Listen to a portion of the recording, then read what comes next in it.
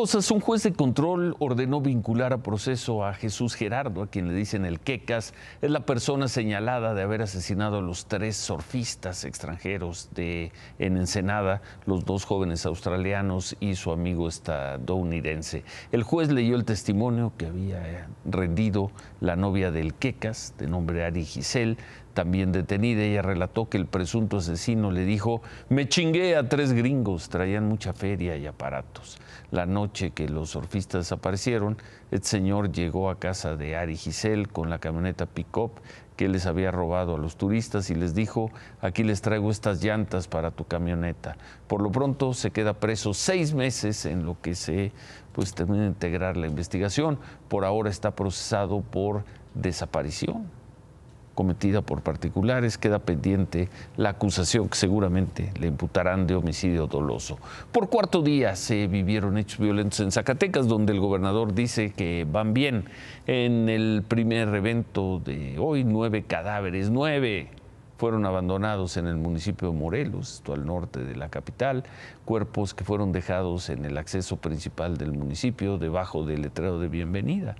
Aunque hubo un operativo para dar con los responsables, nadie había sido detenido. En las últimas 48 horas, 19 cuerpos han sido abandonados en el estado, pero el gobernador David Monreal dice que van muy bien. El siguiente evento ocurrió en la carretera federal 54, la que comunica Zacatecas con Saltillo, esto a la altura del municipio de Pánuco, y ahí personas armadas amenazaron al conductor de un tráiler para quitarle el vehículo y usarlo para un bloqueo.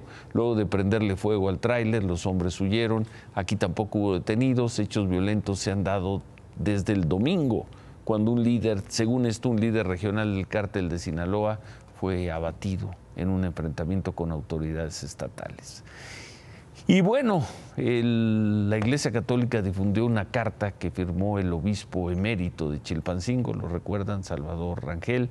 Es la primera vez que se expresa desde hace 10 días en que se denunció su desaparición en Morelos y que fue localizado en un hospital en Cuernavaca. El obispo aclaró que no va a presentar denuncia por la violencia que sufrió, tras presuntamente ser secuestrado, golpeado y drogado. El obispo expresó que ya perdonó a sus agresores y a quienes lo han revictimizado por la desinformación que, según dice, se ha dado en su caso. Por lo pronto, aunque no haya denuncia, la investigación sí continúa en la Fiscalía de Morelos. Así nos lo dijo el abogado del obispo. Definitivamente es un delito que se persigue de oficio al desaparecer una persona y máxime que eh, por comentarios del fiscal era por un secuestro.